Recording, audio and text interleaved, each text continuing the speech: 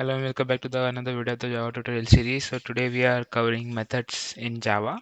And so in general, a method is a way to perform some tasks. Similarly, the method in Java is a collection of the instructions that performs a specific task. Like uh, if you are, if you want to perform a set of instruction uh, multiple times, you can make make it as a one method, and you can you can call that method again and again whenever you want. Okay, and it provides the re reusability of the code, and we can easily modify the code using methods. So basically there are two types of methods in java. One is pre predefined and one is user defined methods in java. Okay so we will talk for first let me just talk about the main method. Okay so just the main method that we have written over here that is public static void main. This is the main method and this is the entry point where our java code is getting executed first line by line. Okay uh, so in in general this is the structure or the syntax of the methods public int sum int a and b where the public is the access specifier uh, int is the return type and sum is the method name and integer a comma integer b uh, inside the circular braces braces are parameter list and all together this is the method header and uh, inside the curly braces we will write the method body and the method signature Okay, so we will cover in our upcoming videos what is access specifier method name. So till now, uh, just uh, see one access specifier should be there, one return type of the met of that method should be there, and method name should be there, and inside the circular braces, the parameters which which the method is accepting that we have to write over there. Okay, uh, so first type is pre predefined methods. Okay, so predefined methods are nothing but the methods which are already defined inside the Java okay uh, the methods which are already defined in java and java class libraries is known as, known as the predefined methods. And it is also known as the standard library methods or the built-in methods. So we will see some examples of this predefined methods uh, also when we coding code it. And some user user defined method also. User defined methods are uh, methods which are defined by us to perform some set of instructions. Okay. And let's try let's look into the types of methods. Okay the st well, first one is the st static method. A method that is static keyword is used is known as a static method. In other words a method that belongs to a class rather than the instance of the class is known as a st static method.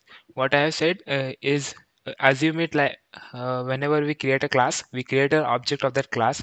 And when we create the object of the class the memory is allocated to that class. Uh, be, uh, if you not create if you not if we not create the object of that class the memory is not uh, getting allocated to that class.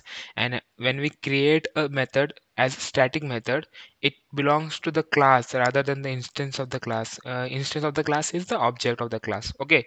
And we can also create the static method by using the key keyword static before the method name Okay, so next one is instance method. The method of the class is known as the instance method. It is non-static method defined in, inside the class. It is a normal method which is in, uh, declared inside the class and it is not not static one. Before calling or invoking the instance method, it is necessary to, necessary to create an object of its class.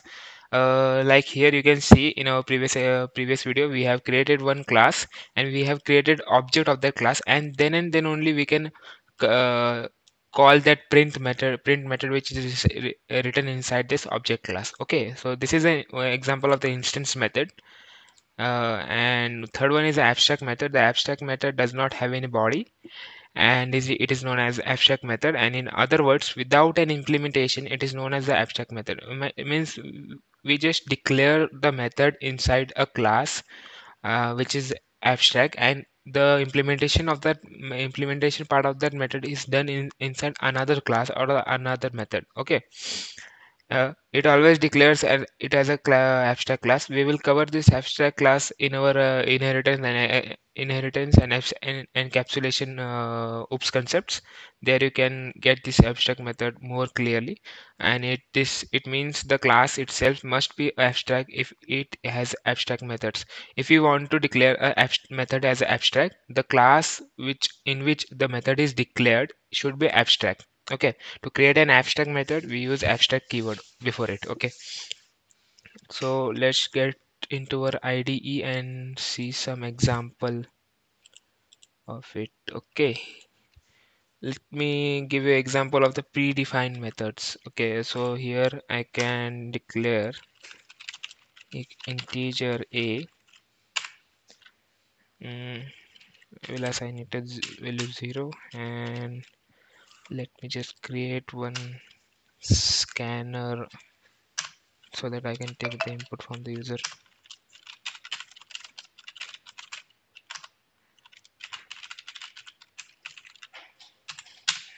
Okay and now here if I write mm, a is equals to sc dot next int okay so here we did nothing. Uh, we just declared one variable a and we have taken input from the user and assign it to the value a okay? So here I can write something like uh, okay so wait here. Let me just see. Ah yes. If you want to get a maximum array a maximum element from an array we can just simply write out the maximum number is and I will concat it with math dot max of let's suppose I will write 10 comma a okay uh, so here you can see uh, math is a class which is written inside the lang package. Uh, main package is java and inside which uh, one one more package is there named lang. And inside lang package we have math class and inside math class one max max uh, method is there. Here you can see uh, one public static int max int a int b. And uh, we are passing two parameters to it. One is 10 and one is a. A's value we are inputting uh, input to the program and it will compare the both the integer values and it will return the value which is greater with the maximum okay? So this is the example of the predefined uh, predefined methods in java. Uh, let me just run this. Here you can see hello world is getting printed and it, it was asking for a number. Mm, so if I enter 5 it should give me the output the maximum number is 10 because when we compare uh, 10 and 5 the 10 is greater one. Or let me just run it again and I will give input such as 15 here you can see the maximum number is 15 because 15 is greater than 10 okay? So this is the example of the predefined methods and for the user defined methods we have already did it. Here you can see uh, this is one user defined method. I have written some set of instruction in this okay and i have created one object of that class and we are calling that method using that object of that class. Okay. So this is pretty much about the method. In our upcoming videos we will be covering okay constructor in java. Okay. So thank you for watching this video